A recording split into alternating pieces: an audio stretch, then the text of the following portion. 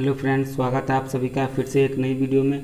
तो फ्रेंड्स, आज के इस वीडियो में हम जानेंगे कि फेसबुक अकाउंट डिलीट कैसे करें how to delete Facebook account दोस्तों, अगर आप अपना फेसबुक अकाउंट को हमेशा के लिए डिलीट करना चाहते हैं, यानी कि परमानेंटली के लिए डिलीट करना चाहते हैं तो फिर इस वीडियो को शुरू से लेकर आखिरी तक देखते रहिए, क्योंकि फ्रेंड्स, मैं आप लोग को इसी का प्रोसेस बताने वाला हूँ कि फेसबुक अकाउंट डिलीट कैसे करें हमेशा के लिए। तो चलिए फ्रेंड्स, आपका बिना समय लेते हुए वीडियो को स्टार्ट करते हैं। तो फ्रेंड्स फेसबुक अकाउंट को हमेशा के लिए डिलीट करने के लिए सबसे पहले आपको फेसबुक को ओपन कर लेना है। तो यहाँ पर आप देख सकते हैं कि मैं फेसबुक को ओपन कर लिया हूँ और आप भी अपने फेसबुक को ओपन कर लीजिए और फेसबुक ओपन करने के बाद आपके सामने इस तरीके का इंटरफेस देखने को मिलेगा।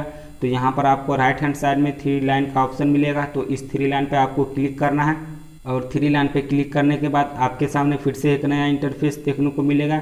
तो यहाँ पर आपको थोड़ा सा स्कॉल डाउन करके नीचे आ जाना है। ओके फ्रेंड्स और नीचे आने पर यहाँ पर आपको सेटिंग एंड प्राइवेसी का ऑप्शन मिलेगा, जो कि लॉगआउट से ऊपर है तो आपको इस पर क्लिक करना है। और सेटिंग एंड प्राइवेसी पे क्लिक करने के बाद फिर से आपके सामने एक नया इंटरफेस देखने को मिलेगा।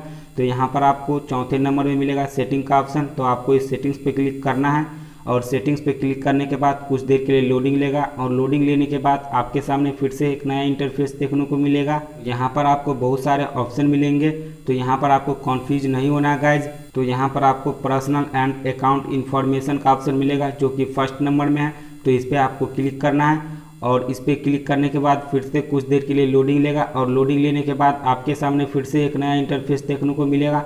तो यहाँ पर बहुत सारे ऑप्शन मिलेंगे count ownership and control okay friends तो आपको फोर्थ नंबर में जो मिलेगा, सबसे नीचे है अकाउंट ऑनरशिप एंड कंट्रोल तो आपको इस पर क्लिक करना है और इस पर क्लिक करने के बाद एक दो सेकंड के लिए लोडिंग लेगा। यहाँ पर आप देख सकते हैं और लोडिंग लेने के बाद आपके सामने इस टाइप का इंटरफेस देखने को मिलेगा। तो यहाँ पर आपको दो ऑप्शन मिलेगा गाइज़ तो आपको यहाँ पर क्या करना है? सेकेंड नंबर में मिलेगा डीएक्टिवेशन एंड डिलेशन तो इस पर आपको क्लिक करना है, जो कि सेकेंड नंबर में है। इस पर क्लिक करने के बाद फिर से आपको कुछ देर के लिए सर्चिंग लेगा और सर्चिंग लेने के बाद फिर से आपके सामने एक नया इंटरफेस देखने को मिलेगा। तो यहाँ पर फिर से आपको दो ऑप्शन मिलेगा।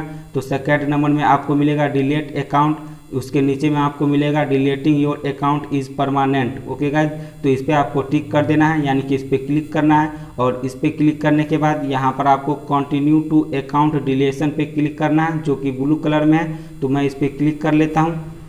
और इस पर क्लिक करने के बाद फिर से एक दो सेकंड के लिए लोडिंग लेगा और लोडिंग लेने के बाद यहाँ पर आपसे कोई एक रीजन मांगा जाएगा। जिस रीजन के कारण आप अपना फेसबुक अकाउंट को डिलीट करना चाहते हैं, उस रीजन को यहाँ से सेलेक्ट कर लीजिए। तो यहाँ पर मैं एक रीजन को सेलेक्ट कर लेता हूँ। माई अकाउंट वाज हैक्ड आप यहाँ पर कोई रीजन को सेलेक्ट कर सकते हैं, एक रीजन को।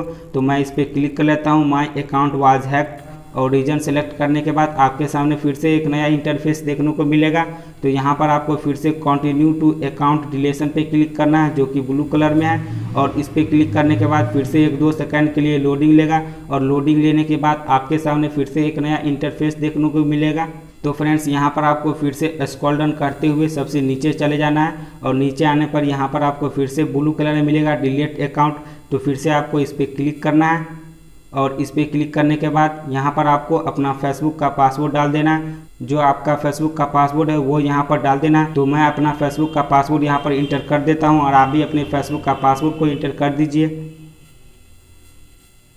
और पासवर्ड इंटर करने के बाद यहाँ पर कंटिन्यू पे क्लिक कर दीजिए, जो कि ब्लू कलर में है तो मैं इस पर क्लिक करता हूँ।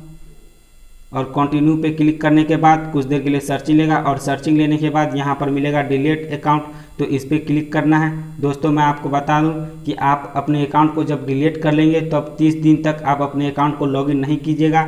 अगर आप 30 दिन के अंदर लॉगिन कर लेते हैं तो आपका अकाउंट जो है हमेशा के लिए डिलीट नहीं होगा। ये बात आप ध्यान में रखिएगा, क्योंकि आप तीस दिन के अंदर उस अकाउंट को लॉगिन नहीं कीजिएगा। तीस दिन के बाद आप लॉगिन करेंगे तो आपका अकाउंट जो है डिलीट हो जाएगा, आपका अकाउंट लॉगिन नहीं होगा। तो मैं यहाँ पर डिलीट अकाउंट पर क्लिक कर लेता हूँ और आप भी कीजिए।